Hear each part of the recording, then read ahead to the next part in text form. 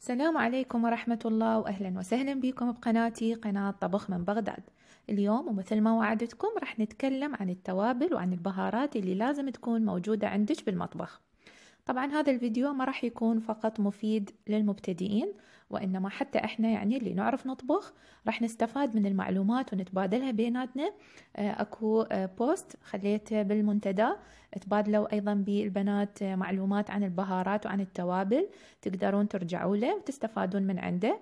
وأيضا تقدرون تحجوا لنا عن خبراتكم بالخلطات وبالبهارات اللي تسووها وتستخدموها بالطبخ. وتخلونا إياها بتعليق أسفل الفيديو. راح نبدي بسم الله. وحشوفكم شنو عندي بهارات بالمطبخ وإن شاء الله تستفادون من المعلومات اللي راح أذكرها. نقول بسم الله ونبدي. عندي هنا مجموعة من البهارات. طبعا ما طلعت كل العلب اكتفيت فقط بهذه الأشياء اللي كلش مهمة. طبعا أكيد إحنا كعراقيين ما نستغني عن التوابل سواء كانت مطحونة أو غير مطحونة. آه، خصوصا عندنا أيضا بهارات كلش مشهورة مثلا الكاري الكركم الكمون راح نتكلم عليها آه، بعد شوية بالتفصيل. عندنا البابريكا النومي بصرة آه، عندنا أيضا البصل ال powder الثوم ال powder أيضا نستخدمه الفلفل الأسود الكزبرة. عندكم هذا آه، ليمون دوزي أو ملح الليمون. دائما الأخوة العرب يسألوني عنه. هذه مادة يعني حامضة. نستخدمها حتى آه، تنطي طعم حامض للأكل سواء مثلا بالدجاج أو باللحوم أو ما إلى ذلك. طبعا عندي كتوابل مطحون وغير مطحون. مثلا عندي الهيل أبقيه كحب. مثلا أخليه ويا التمن أو أخليه مرات من أسلق لحم أو أسوي تشريب. أستخدمه بتخدير الشاي. أبقيه مرات كحب ومرات آه، يعني أطحنه حتى أستخدمه بالحلويات أو كليتشة وما إلى ذلك. عندي أيضا القرفة أو الدارسين. أبقيها مرات كعصي أو عيدان بهالشكل هذا اللي تشوفوه أستخدمها أيضا بسلق اللحوم أو تحضير آه، مثلا التمن أو البرياني. ومرات لا أطحنها بهالشكل هذا وأخليها آه، بعلبة. أيضا أستفاد من عندها بالطبخ وحتى بالحلويات. القرفة أو الدارسين تدخل بكثير أمور سواء حلويات أو طبخ وما إلى ذلك فكلش مهم وجودها بالمطبخ. طبعا القرفة عنصر أساسي بتحضير كثير أنواع من خلطات البهارات مال كبة مال برجر مال قص تدخل بكثير وصفات. عندي أيضا ورق الغار أو ورق اللورة كلش مهم من نسلق لحم أو نسلق دجاج نخليه وياها آه، بالمي فيغطي أو يزيل طعم الزفرة اللي يكون عندي بسبب اللحم. هسه راح نجي على أكثر شيء يسألوني عليه الأخوة العرب وهو النومي بصرة. النومي بصرة هو هذا شكله. أو اسمه الليمون المجفف الليمون الأسود المجفف. هذا هو شكله. عندي منه حب كامل وعندي منه مطحون. الحب الكامل أستخدمه مرات بالتشريب أو في تحضير أنواع معينة من المرق مثل السبيناق آه، أو مرات أخليه ويا يخني الدجاج. وعندي مطحون يدخل بكثير وصفات أكيد ملاحظيني أستخدمه. كلش مفيد وطعمه كلش طيب ينطفد نكهة حامضة ومميزة للأكلات اللي نضيف بيها نومي بصرة. هسه راح نتكلم على نوع من أنواع البهارات القوية اللاذعة ألا وهو القرنفل. طبعا القرنفل أنا أحب أستخدمه مطحون وليس حب كامل وأكيد كلكم تعرفوه يصير بشكل حبوب على شكل زهرة. لكن أنا أحب أستخدمه مطحون أخليه بكثير وصفات وأحضر به خلطات معينة من البهارات. مثلا بهارات السمك بهارات الكبة آه، مرات أخليه ويا الهمبرجر ينطف الطعم كلش طيب يعني يدخل بتحضير كثير من الوصفات. راح نتكلم على نوع آخر من أنواع التوابل القوية ألا وهي الكبابة أو يسموه حب العروس أو فلفل جاوة. اختلفت التسميات والمكون واحد. طبعا كلش أحب أني هذا النوع من التوابل وصايرة أستخدمه حتى ويا قص الدجاج. أستخدمه أخليه ويا كباب العروق. قبل كنت ما أستخدمه لكن بصراحة يعني آخر فترة قمت أستخدمه بكثير وصفات وأكيد لاحظتوا هذا الشيء بالفيديوهات مالتي. طعمه كلش طيب شوية نكهته حارة لذلك ما نكثر هواية من نضيفه لكن ينطفد نكهة كلش طيبة للدولمة. آه مثلا آه آخر مرة ويا شنو خليت لكم إياه؟ ويا قص الدجاج. طعمه كلش كلش طيب. نوع آخر من أنواع التوابل الحارة ألا وهي جوزة الطيب. آه، طبعا آخر فترة قالوا أنه اللي يكثر من جوزة الطيب يأثر هذا الشيء على القلب. هي أكيد يعني جوزة الطيب كثرتها تأذي لأن هي كلش حارة وإحنا دائما من نستخدمها بالطبخ أيضا نضيفها بكميات قليلة. مثلا نضيفها بالبشاميل نضيفها ويا المعكرونة تنطي الطعم كلش طيب. وأيضا اني دا أضيفها من أسوي الدجاج أيضا نكهتها كلش مميزة. نستخدمها بكميات قليلة من نضيفها للأكل لأنه مذاقها لاذع وحار. هذا شكلها. أيضا تقدرون تشتروا كحب أو تحتفظون بيها مطحونة. وصلنا هسه إلى صديق التوابل ألا وهو الكمون. طبعا الكمون آه، مو بس نستخدمه كتوابل هو أيضا إذا آه، فورناه كحب وشربناه كلش مفيد للجهاز الهضمي.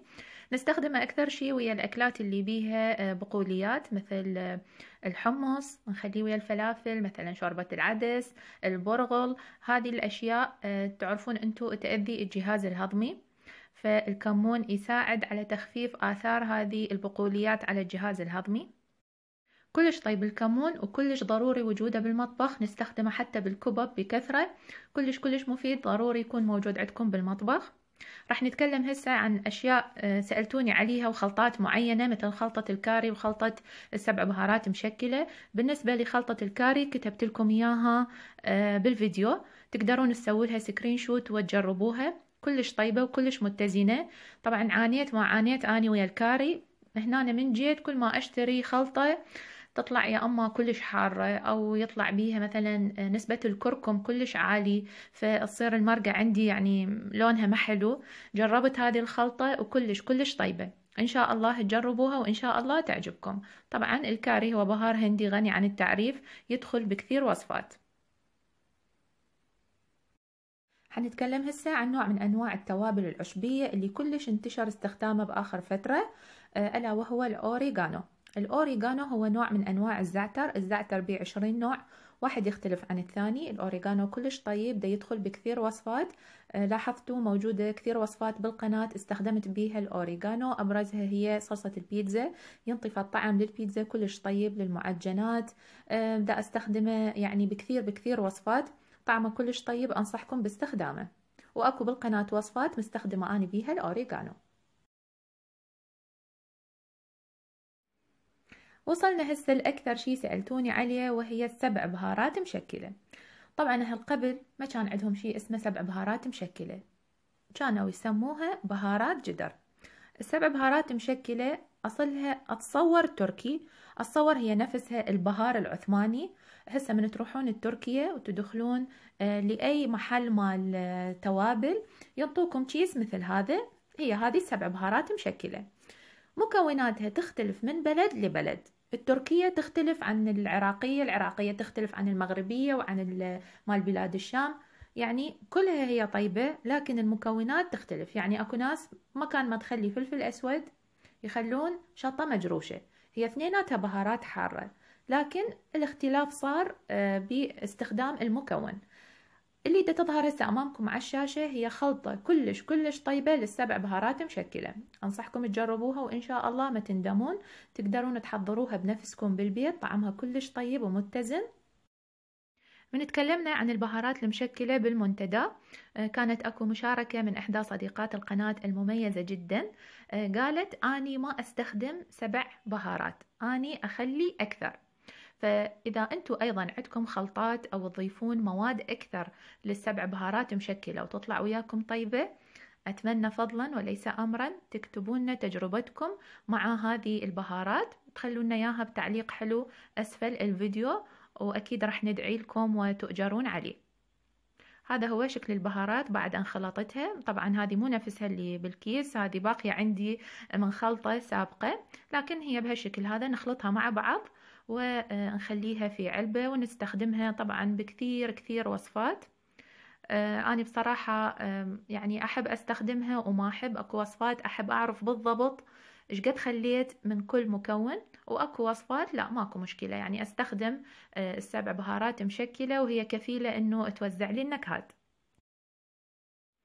هذه كانت معلوماتي البسيطة جدا عن البهارات والتوابل اللي لازم تكون عندش بالمطبخ. أكو أشياء ما تكلمنا عليها آه، معروفة هي للكل وأكيد موجودة في كل بيت مثل الكركم الكزبرة الصبغلوزينة البابريكا آه، عندكم مثلا الزنجبيل آه، هذه موجودة في كل بيت وكلنا نعرف نستخدمها ونعرف بشنو نخليها. يعني هذه كانت أشياء ومعلومات بسيطة حبيت أتشاركها وياكم. إن شاء الله يكون الفيديو عجبكم والمعلومات فادتكم خصوصا المبتدئات. آه، أتمنى تشاركوني خبرتكم ومعلوماتكم بخصوص البهارات والخلطات. وإن شاء الله آه، مستقبلا عندي كم وصفة بهاراتها كلش مميزة. راح نخلطها سوية ونحضر بها الوصفة سوية وإن شاء الله تستفادون. ما راح أقولكم شنو هي لأن صايرة من أقول راح أسوي الأكلة الفلانية يسابقون وياي القنوات ينزلوها قبلي. فإن شاء الله أخلي لكم إياها مفاجأة. آه، إذا حبيتوا الفيديو لا تنسوني باللايك وتشاركوا بين الأصدقاء. أشكر متابعتكم وإلى اللقاء.